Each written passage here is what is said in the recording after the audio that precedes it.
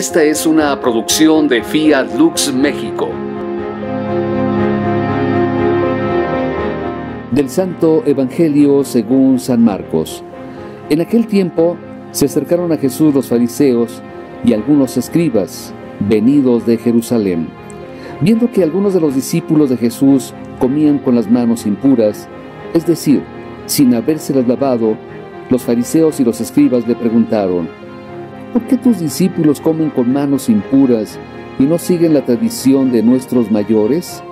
Los fariseos y los judíos en general no comen sin lavarse antes las manos hasta el codo, siguiendo la tradición de sus mayores. Al volver del mercado, no comen sin hacer primero las abluciones y observan muchas otras cosas por tradición, como purificar los vasos, las jarras y las ollas. Jesús les contestó, Qué bien profetizó Isaías sobre ustedes, hipócritas, cuando escribió, Este pueblo me honra con los labios, pero su corazón está lejos de mí. Es inútil el culto que me rinden, porque enseñan doctrinas que no son sino preceptos humanos. Ustedes dejan a un lado el mandamiento de Dios para aferrarse a las tradiciones de los hombres. Después añadió, de veras son ustedes muy hábiles para violar el mandamiento de Dios y conservar su tradición, porque Moisés dijo, Honra a tu padre y a tu madre. El que maldiga a su padre o a su madre morirá. Pero ustedes dicen, si uno dice a su padre o a su madre, todo aquello con que yo te podría ayudar es corbán, es decir, ofrenda para el templo, ya no puede hacer nada por su padre o por su madre. Así anulan la palabra de Dios con esa tradición que se han transmitido y hacen muchas cosas semejantes a esta. Palabra del Señor. Comentario al Evangelio.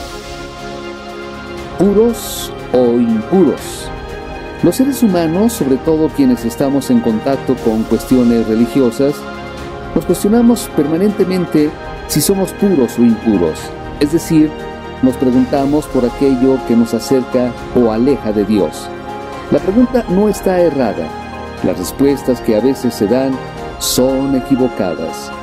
Así como señala Jesús en el pasaje de hoy, es un error fatal ubicar la pureza en la vivencia aislada y fragmentada de un culto que, lejos de servir como culmen de la vida discipular, se convierte en un pretexto para seguir comportamientos que contradicen la voluntad de Dios.